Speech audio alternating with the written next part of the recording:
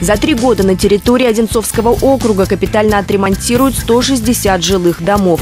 Как рассказал глава муниципалитета Андрей Иванов, такие работы в 2020 году были проведены в 64 домах. В 35 из них отремонтировали крыши, на 7 домах фасады, в 9 внутренние коммуникации.